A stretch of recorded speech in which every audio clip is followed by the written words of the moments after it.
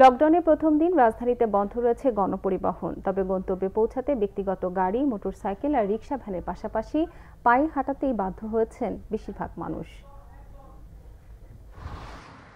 করোনার ভয়াবহতা ঠেকাতে তিন দিনের লকডাউনের প্রথম দিন রাজধানীর সড়কগুলো বেশ ফাঁকা। গণপরিবহনের দেখা নেই বললেই চলে। পরিবহন সংকটের কারণে সিএনজি বা প্রাইভেট গাড়ির চেয়ে রিক্সা ভ্যানের দাপট ছিল খুব বেশি। হাঁটতে একটু কষ্ট লাগে এখন কি করব? বিশ টাকা দিয়ে উঠছি। মায়ের পড়া আছে অনলাইনে পড়া গেছিলাম আর আমার আব্বার অসুস্থ আছিল। গেছি পর দুই মানে লকডাউন করে গেছে গা।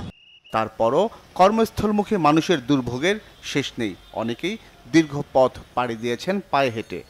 এখন কীভাবে যাব সেটাই হচ্ছে সবচেয়ে বড় ম্যাটার এই পর্যন্ত এক সপ্তাহ তিনবার আওয়া লাগবে।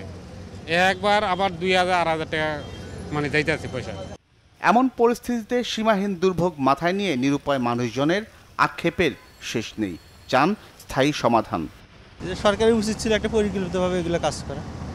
হঠাৎ করে লকডাউন দেয় আবার বলে যে অমুক তারিখ থেকে অমুক তারিখ থেকে লকডাউন আবার দেয় দেয় না।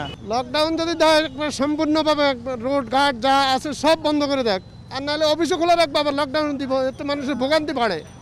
কর্মহীন হয়ে অনেকেই ঝুঁকি নিয়েই ফিরে যাচ্ছেন গ্রামের বাড়ি। দিনের মজুরে কাজ করে আশি টাকা রোজে। এখন কাজ নাই বাসা থেকে কী করুন বাসা ভাড়া খাওয়া খাওয়াটা খামো করতে যার জন্য প্রস্তুতি নিয়েছি বাড়িতে গেলে তো একটা দিনকাল খেটে যাবে আর কি। ঢাকা থাকি কি করব? ব্যবসা বাণিজ্য বন্ধ দোকানপাট বন্ধ। এখানে তো থাকা সম্ভব না। যার জন্য দেশে চলে যাচ্ছে। যে কোনো যান দেখলেই হুমড়ি খেয়ে পড়েন যাত্রীরা। এভাবে বেআইনি চলাচলে বাধ্য হয়েছেন অনেকেই কিন্তু মাসুলও গুনতে হয়েছে কাউকে। কর্তৃপক্ষের নির্দেশ কোনো পিক যাত্রী বহন করা যাবে না। এই জন্য যাত্রী বহন করে উনি ফ্লাইওভার দিয়ে যাচ্ছিলেন।